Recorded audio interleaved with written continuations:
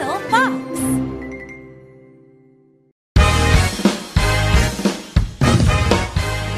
Superstars in history. Rosa Parks. Hello, and welcome back to Superstars in History, the talk show that features famous people from the past. I'm your host, Faye Moss. Today, we're talking with a courageous woman who took a bus ride that helped change America. She didn't take discrimination sitting down, and her bravery inspired many others in the fight for equality. Please help me welcome Rosa Parks.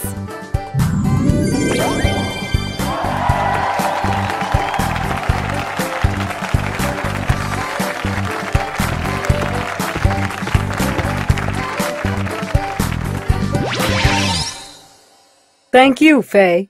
It's nice to be here. You're most famous for a very fateful bus ride, and I want to hear all about that day. But before that, why don't you tell us about the world you grew up in? I was born in 1913 and grew up in and around Montgomery, Alabama, during the Jim Crow days. Jim Crow was a system of segregation laws and an unwritten code about how black people were to be treated in the South. Blacks went to different schools, ate in different restaurants, and drank from separate water fountains. We also had to sit in different parts of buses and trains. Segregation laws were only part of the problem, right? That's right. There were also terrorist groups like the Ku Klux Klan that targeted black people. By the time I was six, the Klan was riding through the black community, burning churches, beating people, and murdering. My grandfather told us to go to bed with our clothes on. That way, if the Klan broke into our house, we would be ready to run and get out fast. That must have been really scary. And back then, it wasn't easy for black people to vote for better conditions. The white people in charge made it difficult for blacks to vote. They made us take ridiculous tests, guess the number of jelly beans in a jar, things like that, before we could vote.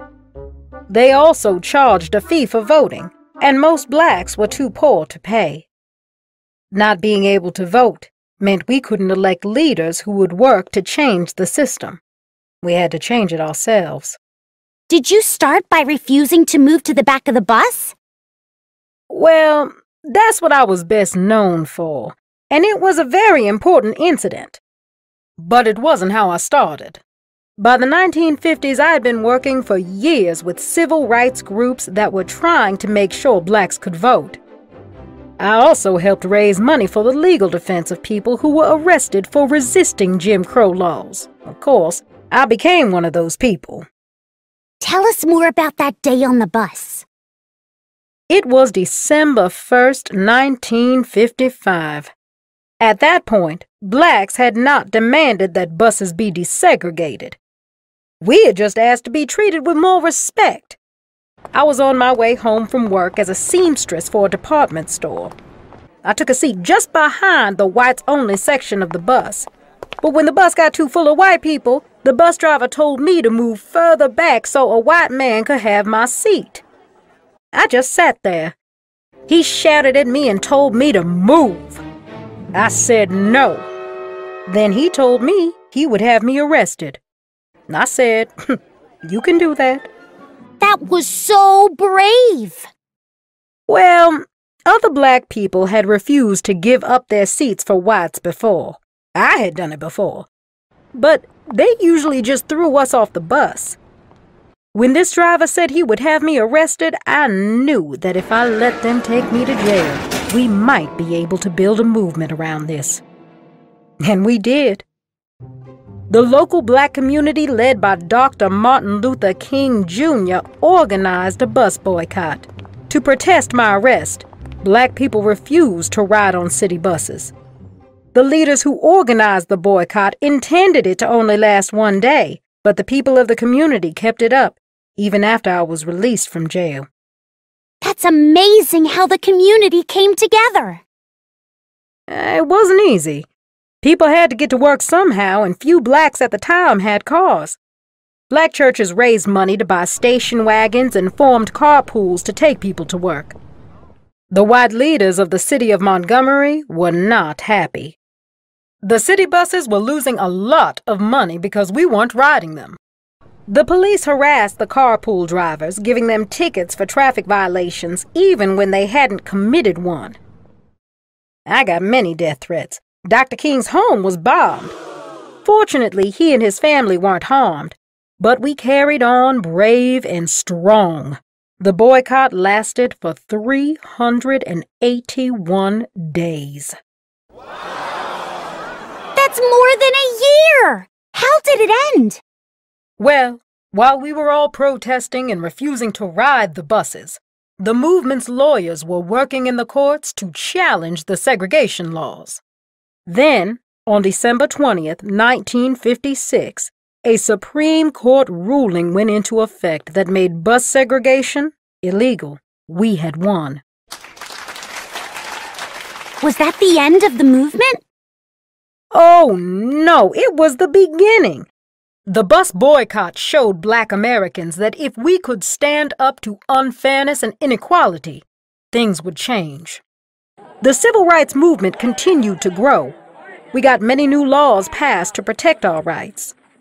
For example, the Civil Rights Act of 1964 made it illegal to discriminate against blacks. The Voting Rights Act of 1965 protected our right to vote. As for me and my husband, after the bus boycott, we both lost our jobs. Eventually, we moved north to Detroit, Michigan, to find work. So, did you give up activism and settle down to a peaceful life? Not quite. I guess I was just born to be a troublemaker. I continued to work in the civil rights movement and stayed involved in politics. For many years, I was an assistant to a U.S. Congress member. I kept working for good causes as long as I could. You are truly an inspiration. Thank you so much for joining us today, Mrs. Parks. We'll let you get back to history now. Thank you, Faye. Rosa Parks spent most of her life fighting injustice and inspired a generation of activists to do the same. In 1996, President Bill Clinton awarded her the Presidential Medal of Freedom. She died in 2005 at the age of 92. Her body lay in state at the U.S. Capitol. She was the first woman and the second African American to be honored in this way. I hope you enjoyed today's interview. I'll be back soon with another famous face from history.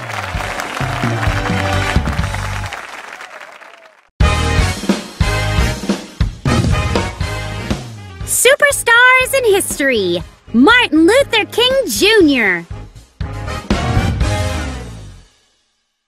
Hello! Welcome back to Superstars in History, the talk show that features famous people from the past. I'm your host, Faye Moss, and I've had a dream about interviewing today's guest ever since I launched this show. A pastor, civil rights leader, and powerful speaker, this man changed history with peaceful protests and stirring speeches. Please join me in welcoming a personal hero, Martin Luther King Jr.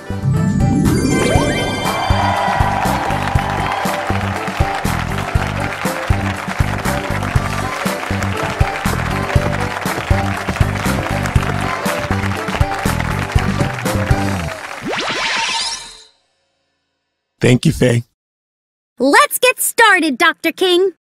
You were born on January 15th, 1929, in Atlanta, Georgia. Did you have a happy childhood? Indeed, I did, thanks to two marvelous parents who filled our home with love. My father was a pastor at Ebenezer Baptist Church in Atlanta, so I grew up listening to his sermons and witnessing firsthand the power of words to move and inspire people. Meanwhile, my mother taught me that everyone is worthy. Nobody is inferior to anyone else. Those were probably important lessons since you grew up in the segregated South. Yes, it wasn't an easy place for a black child to grow up. Slavery was abolished when the Civil War ended in 1865, but African Americans still weren't treated equally, especially in the South. There were laws that made all kinds of racial discrimination legal, and segregation was everywhere. Restaurants, movie theaters, beaches, parks. I couldn't swim in a city pool or drink from certain water fountains. When I was six years old, a white playmate I had known forever suddenly wouldn't play with me anymore because he was starting at a white school. Not even children's schools were outside the bondage of segregation. When you were 14, you won a prize for writing a speech about segregation. Yes, I'm proud of that award. But the occasion was marred by what happened on the trip home. The bus driver made my teacher and me give up our seats to white passengers. We had to stand in the aisle for 90 miles. That was the angriest I ever was during my lifetime. How awful! Did you go to college after high school? I graduated high school at 15 and then attended a black college. I decided to become a minister like my father, so I went to a seminary in the North after college and eventually earned a PhD. During my studies, I became fascinated by Mohandas Gandhi, the activist in India who advocated nonviolent protest as a way to reform society. I began incorporating Gandhi's ideas into my approach to fighting for civil rights. In 1954, you moved to Alabama with your wife. After living in the integrated North, why did you want to return to the segregated South? Well, I was hired to serve as the pastor at Dexter Avenue Baptist Church in Montgomery, and I had a hope I could fight segregation in my position. The following year, I did indeed help to lead a large protest in Montgomery. Oh, you're talking about the Montgomery bus boycott. After Rosa Parks was arrested for refusing to give up her seat to a white person, African Americans boycotted the city buses for over a year. We met at my church to organize the boycott, and I served as a spokesperson. It was exciting to be involved in the movement, but also dangerous. I received death threats, and one night while I was out at a meeting, my home was bombed. Oh no! Was anyone hurt? Fortunately, no. In November 1956, the boycott finally ended when the Supreme Court ruled that segregated bus laws were unconstitutional. We'd won a victory, Faye, but there was more work to be done. I traveled around the country supporting folks in other boycotts and speaking about nonviolent protest. Speaking of nonviolent protest, you participated in many sit ins at lunch counters. What can you tell us about them? In the 60s, students began holding sit ins at lunch counters where only white people were served. They'd sit down and quietly demand service. White people sometimes threw food or taunted them, but the protesters just sat there in silence. Those students were a glowing example of nonviolent protest. You got arrested at a sit in or march, right? Yes, by then, I had moved back to Atlanta to serve as a co-pastor at Ebenezer Baptist Church. In 1963, I traveled to Birmingham, Alabama, where black folks were staging sit-ins and marches. When I was arrested after joining the protest, I wrote a letter from my jail cell that described our philosophy of nonviolence. I felt I had to write the letter. White ministers were calling us lawbreakers. I wanted to explain that nonviolence is a powerful and just weapon. It draws attention to injustices. Your letter from jail is really famous. But it's probably not as famous as your I Have a Dream speech. When did you make that speech?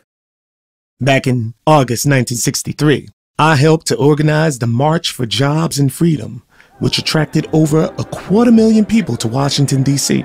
We were marching for equality for all people regardless of race or gender. Most folks remember this part of my speech. I have a dream that my four little children will one day live in a nation where they will not be judged by the color of their skin, but by the content of their character. I practically know the speech by heart. It made you super famous. You were named Time Magazine's Man of the Year, and the following year, you won the Nobel Peace Prize. Yes, and the March on Washington led the government to pass the Civil Rights Act of 1964, which made segregation illegal in the United States. After that, I focused on international peace and economic justice. I spoke out about the Vietnam War and worked with the Poor People's Campaign, a coalition of poor Americans advocating for economic change. My final fight for justice came in 1968 when I traveled to Memphis, Tennessee to march with sanitation workers striking for better pay. Perhaps you could share the rest of the story without me? Of course, Dr. King. Thank you for joining us. We'll let you return to history now. Remember the power of peaceful protest. Goodbye. On April 4th, 1968, during that trip to Memphis, Dr. King stepped out onto the balcony of his hotel. Tragically, he was assassinated by a man who supported segregation. Dr. King was only 39 years old when he died, but he had already accomplished so many things in his fight for civil rights. Today, his dream of equality for all people lives on, both in his famous speeches and in civil rights movements around the world. Thank you for joining me. I'll be back soon to interview another superstar from the past.